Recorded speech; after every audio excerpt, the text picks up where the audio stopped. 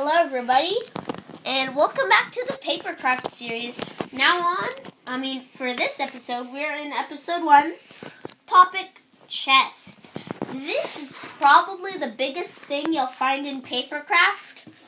So this is what it looks like around. Um, first of all, I have already built this, so I want to show you the, the way you build the chest is in two parts the lid part and the main base. This is hollow and you can store stuff. Usually the top comes off. However, I have applied some tape on the back for good good usage so it opens like a real chest. If we open it, we can see it is all white. Um, on the bottom, it comes with all these cracks. I've used tape to fill these cracks in right here um, so nothing would fall off if we put small things in here. Um, mainly, I'm just going to use this to store items, like I'll store all my paper craft.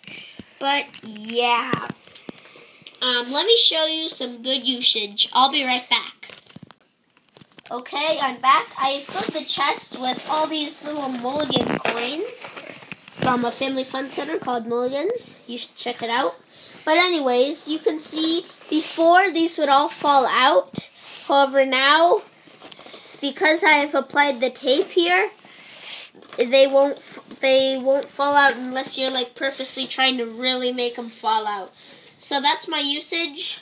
And also, I just used um, this to store all my other paper craft things. So, yeah, that's about it for this episode. I'll see you in episode two. That's about it. Thanks for watching.